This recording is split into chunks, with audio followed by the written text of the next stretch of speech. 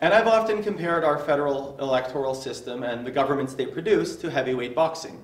You get 10 years of these special interests from Alberta and oil and everything, and then come the Liberals with their old Eastern uh, roots and their special interests and their corporate ties, and 10 years they'll be in power, 12 years.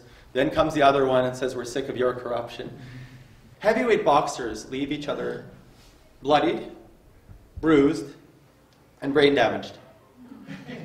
I propose that is the state of Canadian democracy on the whole. Okay? So we're going to go back to the PowerPoint. So um, I just want to build on the, this is not a branch, uh, Canada is not a branch plant of the Green Party. Um, I'm, I'm really the only Green Party member on the board, and most of the people on the board are nonpartisan. Um, but there are two parties that do feel strongly that we need proportional representation and support the goals of Fair Vote Canada. And they are the Green Party and the uh, New Democratic Party. The Liberals don't really want it and the conservatives don't really want it because they like the system. Uh, the two boxers, I'm, I'm somewhat uh, bruised, bloodied, and I hope not brain damaged. and uh, um, we, under our current system, we have a pendulum system that goes back from left to right to left to right. And the difference of just one vote can mean the difference between 100% of the power or 0% of the power, as I'm sure you've noticed. So let's move on. So um, This is what the Liberals uh, said. They said that they will make uh, every vote count. That's good. And uh, it's the last, it'll be the last election under first past the post, but that does not mean that it will be proportional. Next. So where do we go from here? Next. Next.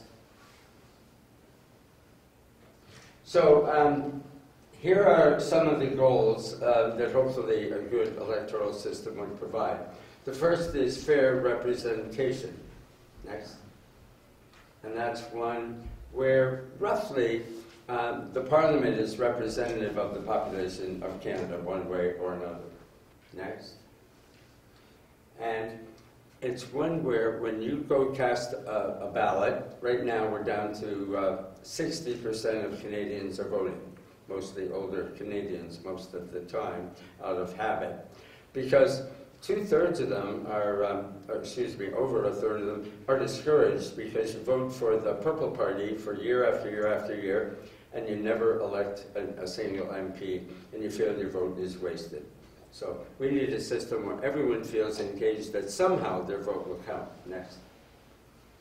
People, um, I've been doing a few of these talks, and people really, really want to be sure that the majority of MPs represent them and their geographical area. This is a good time, though, to uh, give you my perspective on this. I was naive. Uh, Jack Layton was my friend, and uh, I had never belonged to a party before. Um, I had voted in a variety of ways, but Jack talked me into running for the for the NDP, and I really liked Jack a lot, and he was quite democratic in his own way. Um, but uh, so Jack never whipped me on votes. But as soon as Jack passed away, the uh, NDP came down on me hard. And a key person in the uh, party, I'll let you imagine who that might be, said, Hyer, you'll vote the way I want 100% of the time, or you will be punished, and I will not sign your nomination papers. Now, how did we ever get there? Parties are not mentioned in the Constitution. Nowhere. You find it and show it to me. It's not there. So from 1867 until 1970, all that was on the ballot was your name and your profession. So it'd be Bruce Hyer bush pilot, Bruce Hyer trapper, Bruce Hyer biologist, but it wouldn't say Bruce Hyer any party. In 1970, Pierre Trudeau um, wanted more control over his uh, backbenchers, and so he added party names to the ballot because they have brand recognition. I think we all know that. That helped the, the Liberals for sure. But more important and more worrisome, in the fine print in the um, Elections Act of 1970, it said a, a person cannot run for a national party unless the national leader signs their nomination papers. And within a few months, Pierre Trudeau was calling his own backbenchers mere trained seals. Isn't that a lovely phrase? Mere trained seals. That's a true quote. So somehow we've gotten to a situation where most MPs are puppets. Most MPs are puppets. Yes. Um, good governance. Well, isn't that what governance is supposed to be all about? And I like the one on accountability here. It's a system where you can throw the bones out. Except right now we go from white cats to black cats to white cats to black cats. Okay, next. Now, here's a little scoring system. And so we're going to go through a couple of uh, possible electoral systems and test whether those, they meet those criteria that we put up there. so, there's two broad classes of electoral systems, at least that's one way to classify them. And one is uh, winner-take-all systems and proportional systems. Right now, uh, how many of you know where the name first past the post comes from? Yeah, most people don't even know what it means. It's a horse race. And so the first horse that passes the finish line, the post at the finish line, wins the race. And so now MPs, if they win by one vote, Somebody did the math, and I don't know if it's true, but supposedly in the 2011 election, if 6,000 votes across Canada had been different, Harper wouldn't have had the majority of the seats. All you have, and, and so what they do now, and you probably have noticed both in the US and Canada, is the parties and the leaders play to the districts where they can pick up with that one vote, that one district, that one seat. And so uh, all, not all uh, ridings are created equal under the current system. Winner take all is probably a better name for it. Winner takes all in that riding, and if you get more, one seat more than, than a plurality in the House of Commons, you have 100% of the power. Versus, um, and by the way, uh, alternative vote or rank balloting is a winner take all system. It's even worse than the system we have now, in the opinion of many proportional systems. Uh, we're going to talk about three tonight. Two of them are in the slideshow, and at the end I'll mention one more.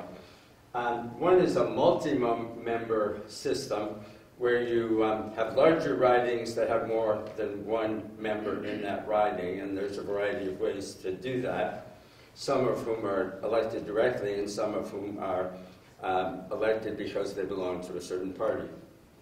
And the other is mixed member proportional. Now, the NDP favors and wants mixed-membered proportional. Uh, it would be a lot better than what we have now by a long shot. Any form of uh, proportional representation would be better than what we have now. The worst form of PR that you can think of would be better than what we have now. Um, what some people feel is a big flaw in the mixed member proportional system is that um, you top up to make things proportional with party lists where the party picks the people who get appointed to those positions.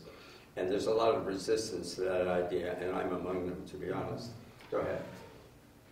Next.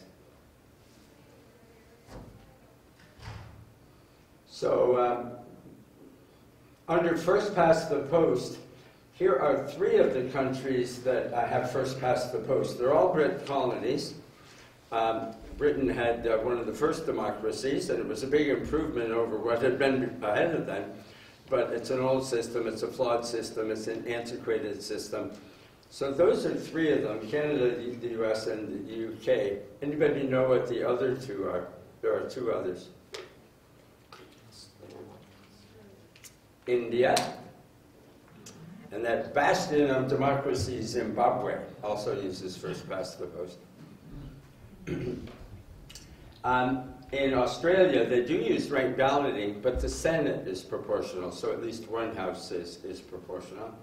France has a very complex system, which is quite unique and different from anybody else's, where they actually have a series of elections, runoff elections, until there's a clear winner. Um, and next. But look at all the countries that have proportional systems. 95% of all the Dutch democracies or wannabe democracies in the world have some kind of proportional system. There are a couple there that are a little flawed, and I'll point them out before somebody else does, and they are Israel and Italy. Israel and Italy have dozens of parties, and the reason is simple. All you have to do to fix that flaw, where you end up with a whole bunch of uh, very extreme splinter parties with uh, a, a seat or two, is have an entry level. In other words, you don't have proportionality unless it's three or four or five or six percent of the vote before it triggers proportionality. In Israel and Italy, if you get a half a percent of the vote, you get a half a percent of the seats in the House. And they have uh, large parliaments, so they do end up quite often. Some of the crazier parties have uh, too much influence. But uh, that's rare. You can also see others on that list, though, that are some of the most progressive, economically sound, happiest, healthiest countries in the world. Uh, countries like, uh, like Denmark, like Finland, like Iceland. Um, look down, I think you can see this, most of the, all the Scandinavian countries are happier, healthier, and have uh, more stable governance than we do. Next. So let's score uh, first past the post. So the way it works, if you win by one vote, um, you're elected in your riding, you go to Parliament for the parties to tell you what to think and say and do and vote. Go ahead. And this is what happened in the uh, 2015 federal election. So um, the Liberals got actually less than 40% of the vote, and they ended up with 54% of the seats and 100% of the power. The uh, Conservatives actually uh, got cheated a bit. They ended up with fewer seats than, than their share of the vote. The NDP got cheated more, I should say not the NDP got cheated, but voters who voted for the NDP got cheated. Um, and the bloc, sometimes it favors them actually to have a first past the post system. And the Greens, um, uh, we don't have 0% uh, of members, but we do have 0% of seats in the House.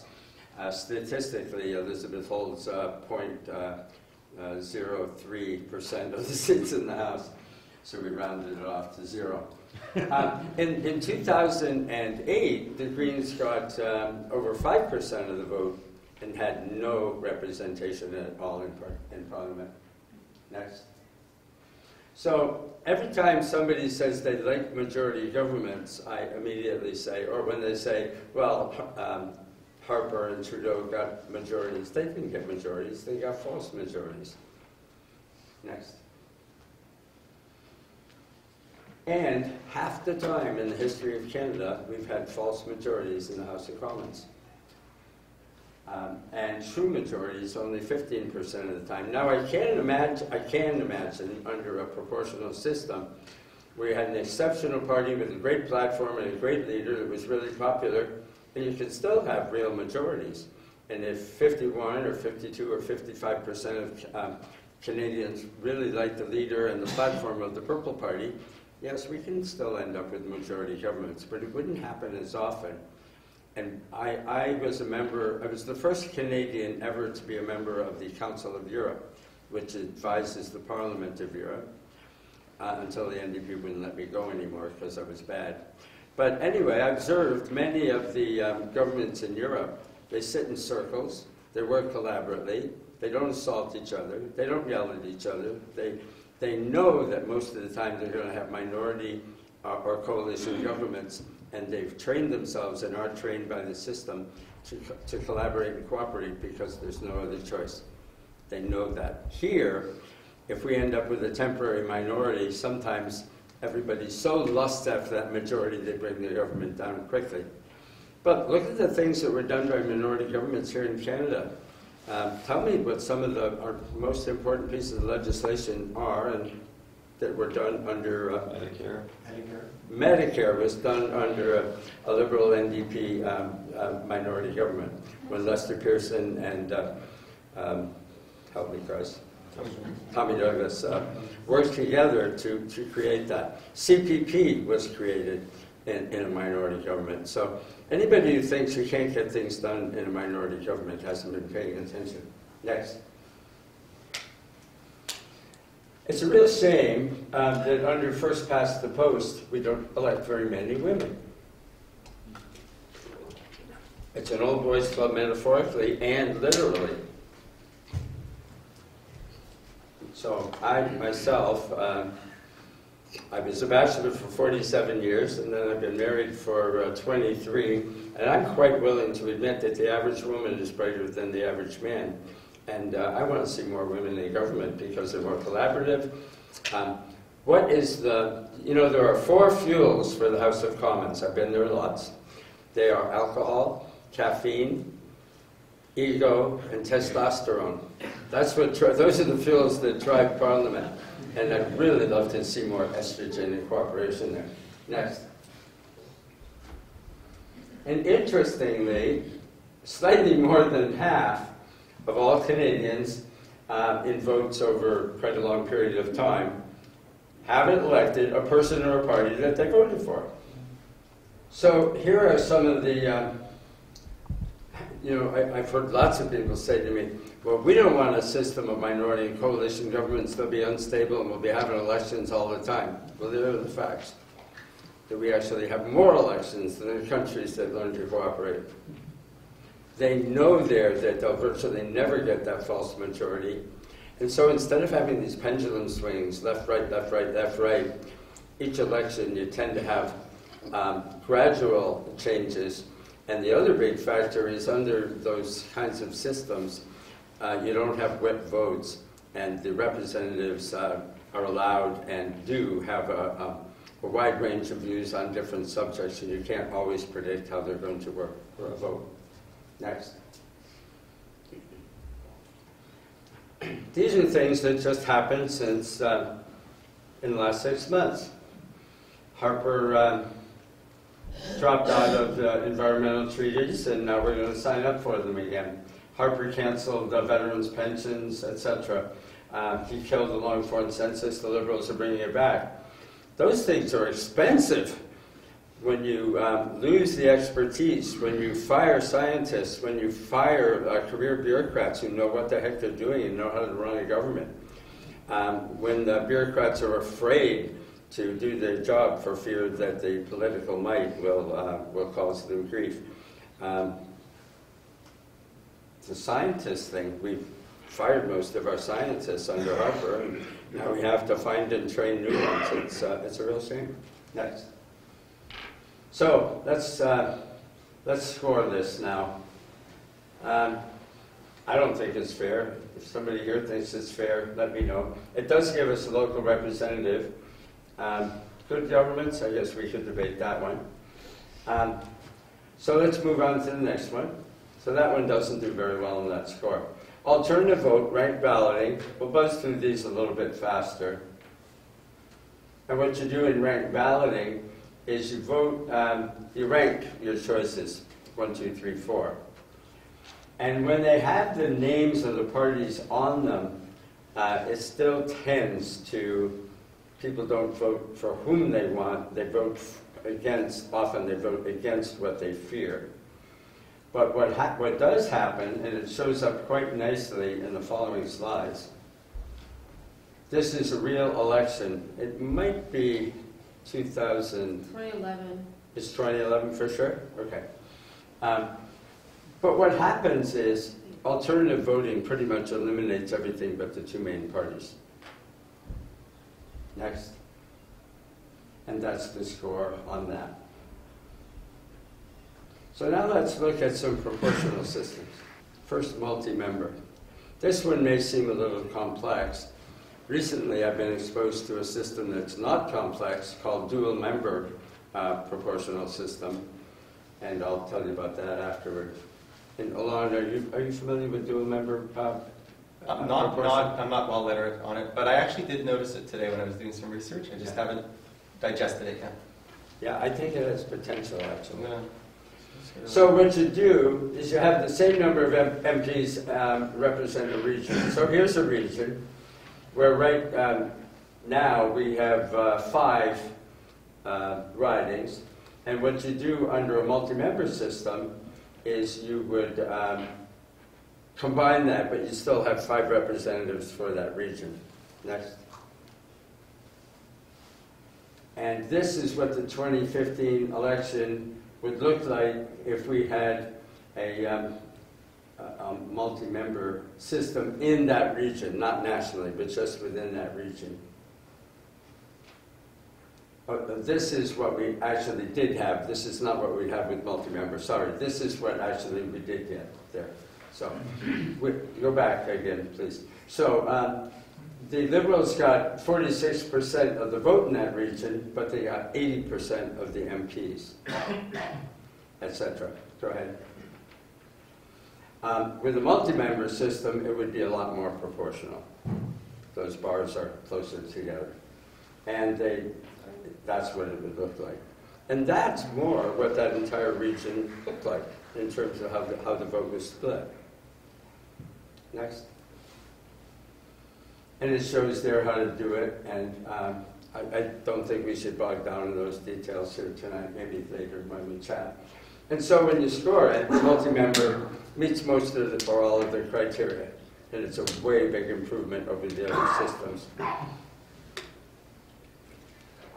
It's important to say with a multi-member riding, as a citizen with an issue, you have a choice which member of parliament to go to.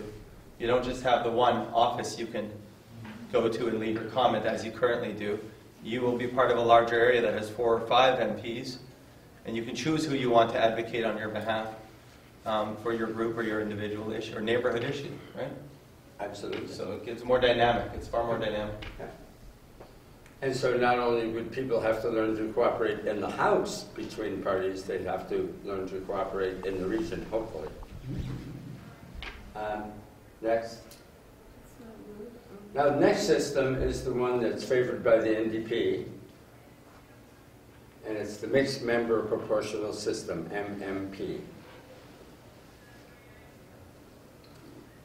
So here, it's a larger region that would be combined. For example, where I come from, Northern Ontario, there are 10 ridings, and that would probably be big enough to implement an MMP system. Uh, next. So uh, here's what actually happened in the last election. Uh, Toronto went all liberal, even though the vote isn't that simple. And the rural areas all went conservative. And now, Andrew. And as you can see, um, it doesn't represent the way people really voted in that area as a whole. Next. So what you would do under this proposed system is you might have a multi-member region that had 15 MPs, 10 of whom you vote directly just like we do now, but five in the region at large to, um, to ensure proportionality. Now the big question is how would you choose those top-up MPs? Party lists are not popular except with the NDP. Um, and so what other methods might be used? This might be, this is a, a key question to ask each other and talk about uh, at the end of our slideshow. Okay. So here's what it might look like, look like with a mixed member proportional system in that area. And the question is, what would those other five be? And the answer is, you can see it's much more proportional and fair overall. And it would be two more liberals, two more NDP, who weren't, didn't elect any before. Hey, and the Green.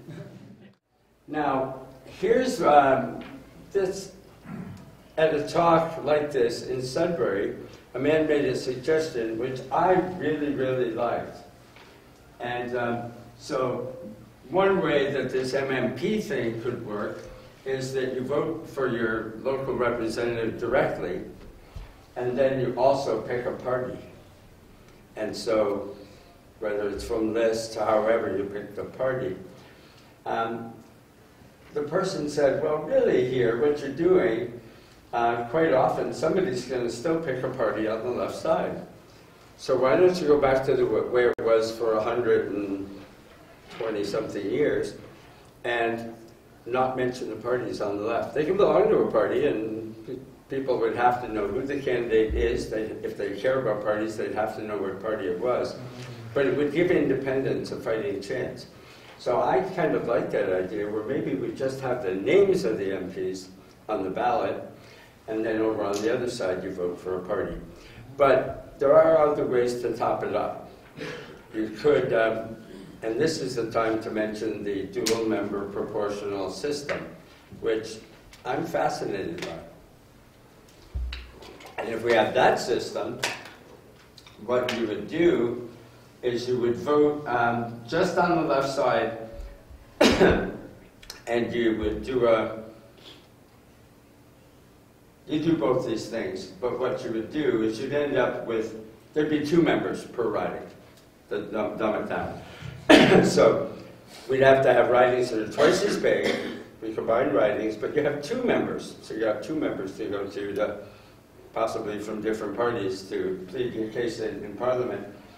And one you would elect directly, just like we do now, and you'd get the same kind of representation. But the other one uh, could be done through a variety of ways, ranked balloting, or it could be um, whoever got the.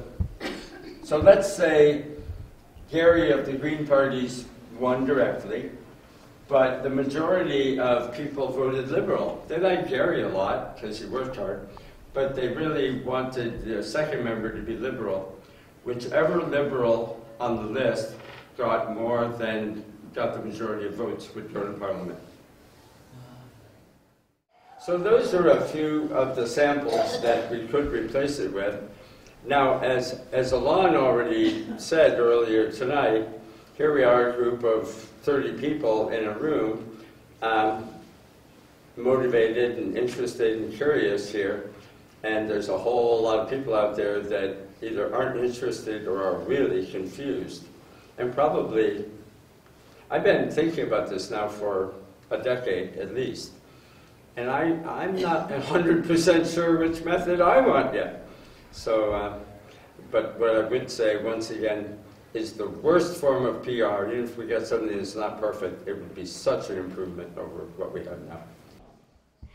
We've had a couple of events here at the library in the past. Um, we've had Skyped in um, uh, professors uh, who really explained a little bit about electoral reform. One is Dennis Pilon, and if you want to go to the fair, go to YouTube, and Fair Vote Canada has um, a few videos that he's done that explain various systems. For those of you more interested in the details. He talks about uh, instead of a closed party list where the party sets who's going to make up the second half of the vote in the mixed member, you can do it as an open list where you're, you're actually selecting among, let's say, the Greens you vote for, the Liberals, or whomever your vote goes for on your second ballot. So there are lots of resources out there, and I encourage you, if you're going to be an advocate, to watch them and be literate in the different systems if you get questions. But as someone pointed out to me on the Facebook group, there's a Facebook group. First of all, Fair Vote Manitoba has a Facebook group, so I want you all, all to join that because uh, we are posting a lot of events and local uh, links from the national and also links of things we find on our own. And please contribute to that. But there's another group um, discussing proportional representation. And I had a few questions today, and I knew there were people out there. The collective knowledge there is very great. And I posted a few of my questions, and one person responded with. Uh, I find groups aren't that keen on the minutiae of the electoral systems. And I don't necessarily agree for this group. I think this group is uh, above, ed- above average in education on democracy. Uh, but I would say this if you're going out there and you're saying wanting to volunteer and get a bit of literature to um, uh, knock on doors in your neighborhood, get a petition signed for a proportional system, or simply educate your neighbors that's a good way to do something like this, is just person to person. I wouldn't start with getting into the details of all the different systems out there. People will ask, the ones who are going to think, you know, how is this going to play out? But we really have to keep articulating um, the problems with first past the post, although it's already been a commitment of the government to change that. And just also um, some of the issues with the ranked ballot system in that winner take all is winning power, and I think we have to think about it, uh, step back from the electoral system a bit, and view this in the context. This is one a key thing I'm trying to emphasize. View this and share this in the context of democratic reform and democracy as a whole. Okay, because again, the electoral system may become, and don't say you want you want to fix the the electoral system. Use the word repair Don't say you want to fix the electoral system, especially if you're a partisan. People are going to say, yes, it's already fixed. That's right. You can't fix. But repair. We're trying to repair it. But I would say this is, um, it's really important to recognize that our context is not the same as everyone's context, though we all are under the same electoral system. And I think it's important to discuss other things as they come up that are de- democracy wide. So the example that, you know, um, one of the things I said, this is a random example, when I was running is rather than thinking I can represent, what is it in a federal riding, about 90,000 or 100,000 people? About I mean, About I, I mean, the idea is the first principle of the Global Greens Charter, for those not acquainted with it, that was signed in Canberra in 2001, is participatory democracy. And we have to find ways, as either MPs, MLAs, or future uh, leaders in our communities that have resources, to uh, engage people in a way that doesn't demean, belittle, like a lot of these consultations you'll find do. They are uh, token ways of engaging the population. And so one, one thing, you know, just as an example that I proposed is if a person's going to phone the MP's office, they should have the commitment that, you know, without sharing personal or confidential information, they will track every single phone call's issue on their website, number one, so that the agenda of the MP's office is produced by the people and not by the party. Okay. And number two, another uh, possibility is you can check off a box or say, yes, put me in touch with other citizens concerned about this issue or working on solutions. So then you start to establish citizens committees that can work through both the MP's or MLA's office and using the resources that those offices get. And eventually we may get letters from our MPs or those, those, those newsletters from the MPs or the MLAs that are not a bunch of glad handling photos written by PR people, but are actually written by fellow citizens uh, through the office of the MP and the MLA.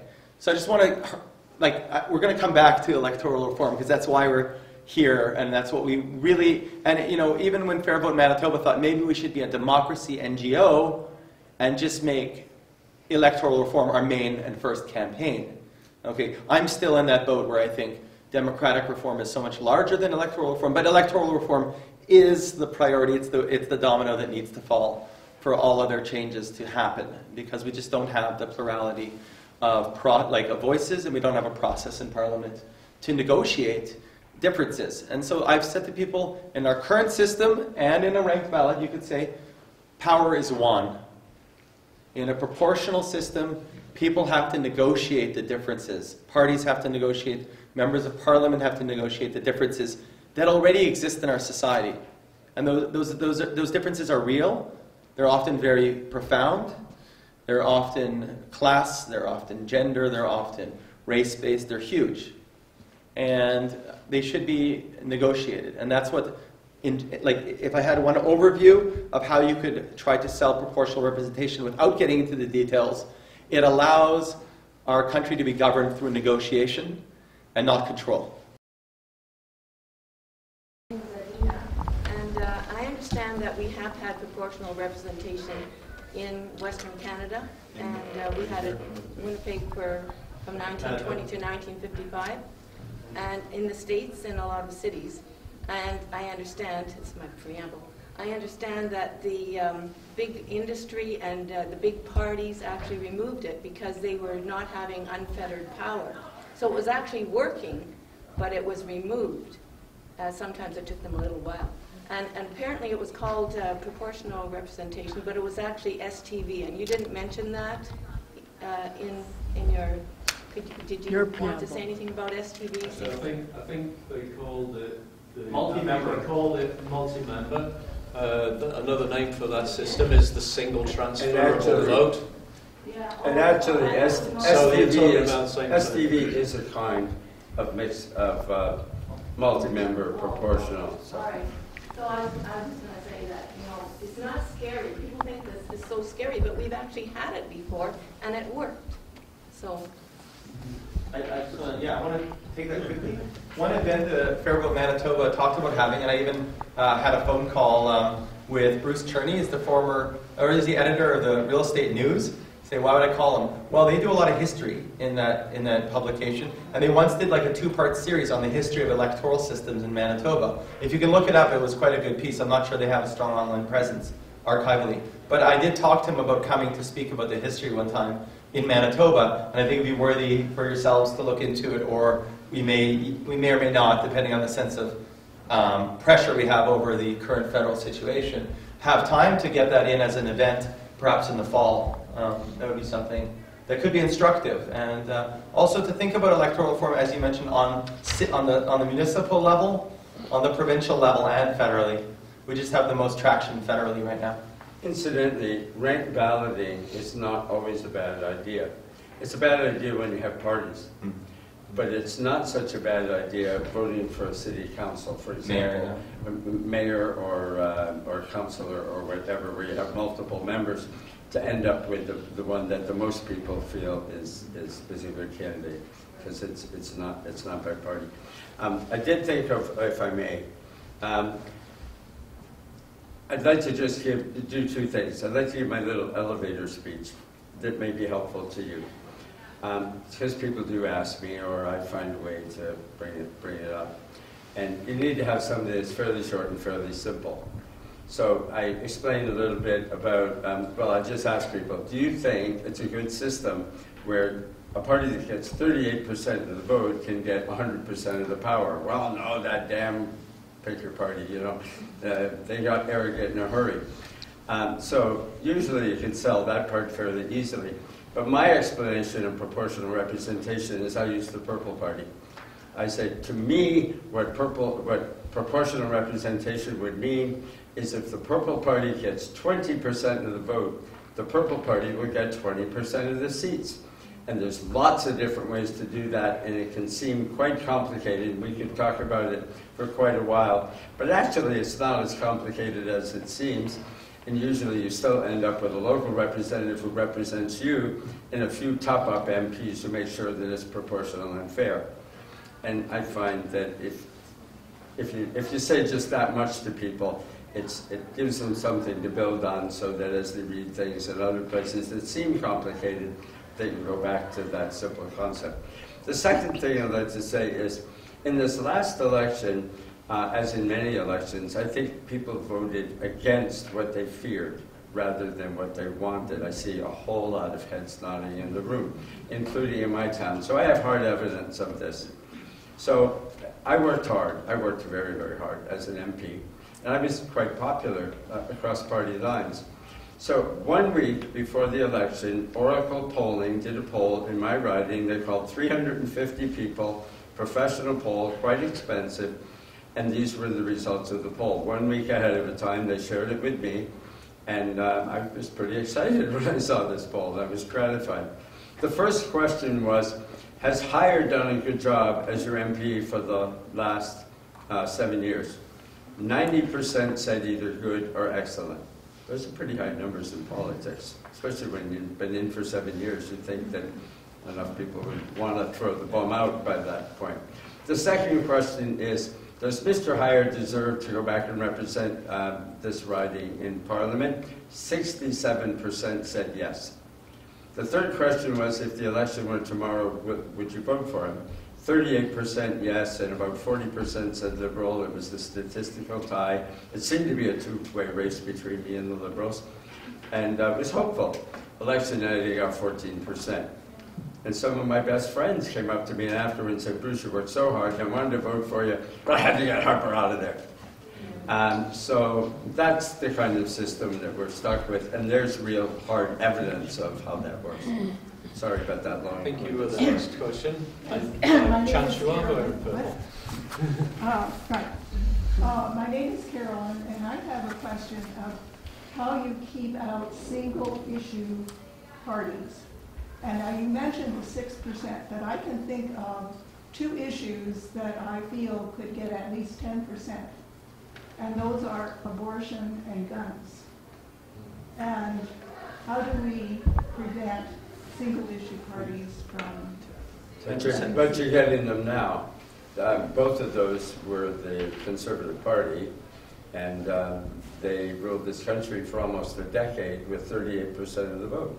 Carolyn, is So- it, sorry, is it 10% each or 10% total for the Uh, vote? no, Like there must be overlap with guns. I'm No, she's talking about the threshold. I'm, I'm, I'm talking about a party that doesn't have necessarily a total platform to, Right. But it's focused on an issue. And I, and I think of those two issues as ones that could possibly uh, coalesce a party. You're absolutely right. So Carolyn, I'm going to turn it around. Um, how would, I, I I myself, that's democracy for me. Um, Winston Churchill said democracy is an absolutely terrible form of, uh, he said it was the worst form of government, save all the rest. So democracy is a messy business. But if a significant uh, percentage of the population has a strong feeling about this, don't they have a right to be represented? And I believe if we went to a system more like this, um, it would be less party controlled, uh, may, maybe with the exception of a small party like that. Um, and the MPs would be more free to debate issues on their merits. And a lot more work would be done, as Alon pointed out, in committee with negotiations, instead of this mindless, everybody gets up and just does whatever the leader in the whip tells them to do. But my question to you, if you don't mind, uh, is um, can you envision a system that's fair that would eliminate what you think is wrong? Well, I, I uh, must confess, I like the alternative vote, but stripped of parties, um, voting for, for people rather than for parties. That would be my choice. That's what the dual, mem- uh, dual member proportional system would do. So um, basically, you would select the person that just wins, and then the top up would be based on kind of a preferential vote done by the computer. I heard a wonderful phrase the other day by Anna Keenan, who's working on this in, um, PEI. A lot of this stuff that seems complicated, a computer can figure out in a, in, a millisecond. Uh, the complicated uh, preferential stuff or the a- a- apportioning of seats. And she calls it magimatics. The computer does magic ma- magimatics. What seems complicated to us is actually pretty simple. I just want to say one thing too to that question. Uh, in the talk we had with uh, Dennis Pilon and in the room across uh, one time, he did explain that the research shows, like in New Zealand, there was a, a bit of a more extreme party that got elected a little bit, you know, not to government, but had a good. Uh, they found that by the next election, their popularity had waned because they weren't willing to adapt and take on a broader platform. So the single issue parties, unlike in Europe where you have ethno nationalism uh, to fear and things like that, in a place in a country as diverse as Canada, people expect you're going to take on more than one issue. So you may get in in a protest vote with a certain small but significant chunk, like 10%, but you're not likely going to last, is what some of the research shows. So by the next election cycle, you'll be down in the dumps again. So I don't, I can't see single issue parties. I mean, if single issue parties get significant chunks on a consistent basis, then we have a bigger problem, which is the other parties aren't communicating very well, and democracy is breaking down. Like it's a bigger issue. That's a symptom, not a cause, is what I would say. It would be a symptom of a problem, not a cause of a problem. So we have like a bigger democratic problem if that's happening. But also, I, I once ran uh, for the Greens, and I came to a guy who was like, "What's what are you about uh, gay marriage and abortion?" I was like, "You know what? There's a Christian heritage candidate in this riding. Give me your number." And I passed his phone number on to the candidate. Said, "This is one of your voters." And I'd rather have those people have someone to vote for than to walk around angry and not be represented, frankly. If that's, you know, because it's, it's, it's, it could be seen as more dangerous with outside of Parliament. And inside, it's domesticated in Parliament. That's my view, but that's, you know, that's a big debate. That's a long discussion. Carolyn, it was a good question. I'm glad you asked it. I think you already gave the answer, but just to repeat it, um, I think it's important to have a threshold. Uh, we could debate what that threshold should be before proportionality kicks in, whether it's three percent, five percent, a little bit more. But no, we wouldn't want to have uh, every party represented that represented one percent of the population. That would that would lead to serious problems. Gentleman at back. Sasha is my name. If I understand the proportional top-up correctly, could that lead to a bloating because you now have your direct voted candidate plus the proportional top-up? And how do you solve that? Bringing that down to a manageable size. I would assume that when you have additional, I'm just picking a number now, 200 MPs due to the proportional top-up, the entire parliament might get slightly uh, more complex. What is the solution? I'll have a quick answer. Um, When Harper added 30 more MPs to the House of Commons, I called it adding deck chairs to the Titanic. Um, You you don't have to have more MPs in the House of Commons. What you would probably do, I think the, um, the House of Commons is big enough or probably too big now. Uh, So what you can do is combine ridings, in, like with those multiple member systems, you don't have to create more seats. You could do it that way, but I tend to agree with you that what's the point? The, the the ridings that have a direct representative, large as they are now, would become larger. If you have two-thirds, for example, as the common uh, German system, two-thirds representing a specific area, those are now bigger areas, and then the other third would come from the top-ups. And sometimes that number will change, the total number, because of what's called an overhang, because sometimes it doesn't round up, but not significantly. Not like what you're thinking. It's not like you keep the 330 and add another two-thirds. It would just be larger ridings. James? So, James Beddome, and leader of the Greens in Manitoba, just for title purposes. I'm going to start with just a quick proposition, which is there's no perfect electoral system, right? They're all different systems, and one of the things I'm wondering how we do, how we stop trying to almost uh, get the change in terms of pushing towards proportional representation, but because there's so many different types, when we've seen this go to referendum in here in Ontario, you get a one or the other choice. I myself am really partial to the single transferable vote, but when I went to the Republic of Ireland, a lot of people there were like, oh, we kind of want to go to MMP, and they have, they've done electoral reform saying our system isn't perfect, even though I'm like, no, guys, it's fine. They're like, no, all our M, all their TDs, they call them, in Ireland do is show up and go to funerals and glad hands. I'm like, they just go to picnics here in Canada. Like, it's no different. Like, you just culturally replace things in a, in a slightly more Catholic country, right? But how do we then stop breaking down, like, we could go for a full list system proportionately, and I don't think anyone would want a full, just single party list system in Canada. That would, might even be worse than first past the post. And then we, you're talking about the alternative vote, which we had in rural Manitoba when we did have a single transfer vote. To me, that's almost slightly better, mixed member proportionality is a little bit better, then I kind of lean more towards multi-member single transferable vote. But how do we stop from breaking down into that sub-debate, which is a worthwhile sub-debate? I don't think we can just ignore it. I don't think that's a good enough answer, but yet sometimes that becomes a way to keep the status quo in place. I mean, they are specialist debates that happen on groups where people are already talking about this. I, I think, as Bruce said, any of those systems would be better, right? I mean, any proportional system would be better than what we have. Well, except for a single party list. And, and nobody, ad- Canada. right, but nobody, Nobody's advocates- proposing- nobody's advocating. No, it's that. proposed, no, but I'm just saying that's technically a proportional system, right? You have to be careful, there's no perfect Sure. system. And even you're talking of a one-third talking in the German system, you can make that fifty percent or you can make that ten percent. Right. And we need, it does matter, but at the same time, we have to be able to move forward without getting lost in the ten percent versus fifty percent MMP debate. So come back to the idea that every vote counts and will be represented. Speaking in favor of party lists, we al- Robert Johansson. Uh, speaking in favor of party lists, we already have it. Okay, parties make lists, and they make decisions based on those lists. If you have a party list, it's public.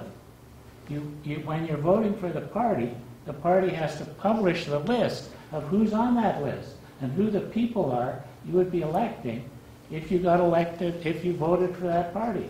If you were voting for the Green Party of Manitoba, you would know that the first person on that list would be James Beddome. Okay? Well, maybe not necessarily, but fair enough. Yes, necessarily. You're the leader of the party, you'd be at the top of the list. And many, and that, and that changes the way you look at it. Because you're beginning to look at who is the group of people I'm wor- voting for. Is this a group of people that I trust enough to vote for them? That's a good opportunity for me. That was an interesting perspective. I don't agree with it, but that was it. Um, um, I've, been- I've been there in party politics, and I'm just going to reiterate that most, most MPs now are puppets. Um, I was there for seven years. Here's my assessment of uh, the MPs.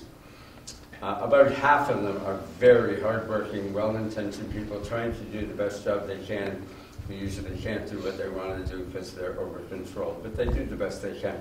So they make up for it in other ways, like working hard in their constituency. About 45% of them are pleasantly useless. Kiss babies, go to funerals. It's a cushy job if you don't do it, and it's a really hard job if you do it. If you do it, it's about 100 hours a week. And about 5% of them are worse than useless. They're really worrisome. But it takes years to get those stories out of them. I'm Albertine Spence, and um, I'm Indigenous woman. But uh, when Harper was in office, I seen something happen there where it frightened me because I felt like we were nearly um, stripped of any kind of um, having any kind of rights. Um, you know, we weren't on his radar, or um, he didn't um, sign the uh, UNDRIP. And um, so, you know, we, you know, a lot of us don't participate. We, we- we have these treaties, you know, as Treaty One, Treaty Two, we're in Treaty One, they say. But, you know, as an Indigenous woman, I say that even our women weren't included in the treaties, the treaty-making process, which is mostly paternal, patriarch type of agreements between men, and they didn't include women. So um, it's hard for me to make a stand anywhere. And, you know, that's why I go with the Green Party, because it's for, you know, for life, for, for the, the earth. And you, you say there's a spectrum of growing uh, Green Party, but um, I don't know how to encourage um, First Nations or Indigenous, whatever the political term is, to participate, but I like that, that whole idea of a global participatory type of um, movement, you know, taking care of, you know, and then it, it's unfortunate we have to use, use those, that fear-based um, tactic on, you know, this climate change, you know, and the fires and um, India's uh, um, increasing um, temperatures, you know. So I don't know how do we fit in there and how much participate, uh, participation has there been from You might like my Indigenous idea on this, which I actually stole from New Zealand, so it's not my idea. In New Zealand, the um, Maoris have ten percent of the vote, and they're ten percent of the population. And the New Zealanders all agreed to it. They said, let's just give the Maoris ten percent of the seats. And then they figure out how they want to do it. I'd like to do that here. We have about three percent Aboriginal in Canada. I'd just give the Aboriginals three percent of the seats and say, instead of Elections Canada doing it, you guys figure out how you want to fill those seats and give you those seats. And, you know, you might just hold, if we had a proportional system where things are more equal, you can end up holding the balance of power. Wouldn't that be interesting? I, I like the idea, and um, I also like the idea of groups like ours, like Fair Vote Manitoba, approaching First Nations and suggesting that there are other ways, and I don't mean traditional governance, because that would not be our place to speak on that. but currently, they're also using first past the post for their. And if you ever look at an Indigenous community's elections, there could be eight candidates for chief, and whoever gets the biggest number wins. So it's actually worse in a way than our situation, which is four or five parties. So the vote is even more fractured in First Nation communities, from what I've seen. And I have no problem, I think, uh, if we respect their autonomy of approaching them and saying, there are other ways to do things, share the information without any pressure whatsoever, because we have no authority, right? But just to say, you know, there are other ways to run elections. So I don't, I don't see us having to limit ourselves to dealing with Canada. I think if we're supporting democratic principles, we should be able to share them with anybody, and it should be able to benefit any level of election, including First Nations elections. Green? Yeah, The lady at the back. Name's Ian. Um, Bruce, hi. Um, I, I'm all for pro- proportional representation. I really hope at some point we get it.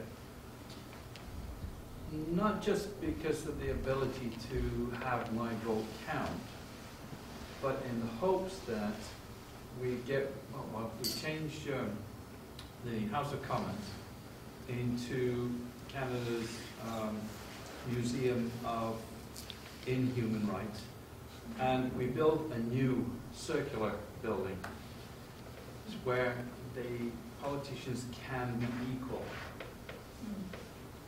It's not going to happen in the next four years. Do you think it will happen at some point? Do you think there's a potential for this? Because I had to sit through two years of watching The House when I was working at the library here, at the educational library. And I was disgusted. It, it's, I, I know elementary teachers that have far more control. um, it was disgusting to watch it sometimes. Um, Two, two things lead to that kind of behavior. Too much power or none. So if you have too much power, you become arrogant, and you like being part of the team, even if you have no real power within that team. You feel like part of a strong team, you know. And then on the other side of the coin, um, when you have MPs that really aren't listened to in debates, a lot of the debate in the uh, House is uh, inconsequential. Um, I was told often what to say. I didn't use it, but most of the MPs do. If you watch they with the same speaking points from the party, they just read them, and nobody cares, the media doesn't show up, it's all, it's all just show, it's, it's, it's really a shame. Um, I know how to fix the House of Commons, and here's my formula, and if any of you want to make this happen, I'm 70, but maybe uh, somebody else a little younger can uh, make this happen. The first one is simple, um, randomize us in the House of Commons, randomize the MPs. Instead of sitting in hockey teams where the coach is sending you over the boards for a brawl periodically, um, when you sit next to somebody, you look at the pictures of their kids and their golden retriever dog and discover that you both play golf or whatever, it's a lot harder to be rude to them. So that's number, that's number one. Number two is we have to reverse what Pierre Trudeau did in 1970 and have uh, national leaders sign nomination papers. If your riding association picks you, you're the candidate, and if your voters pick you, you're, you're their MP primarily, uh, with guidance from the party, but not, not control. And then the big one, of course, is proportionality. I've watched how proportionality works in most European countries. Their, their legislatures are circular, um, they're collaborative, they don't usually scream at each other, and they're known to work together. Yeah. We have a system that brings out the worst, not the best in our MPs, to be sure.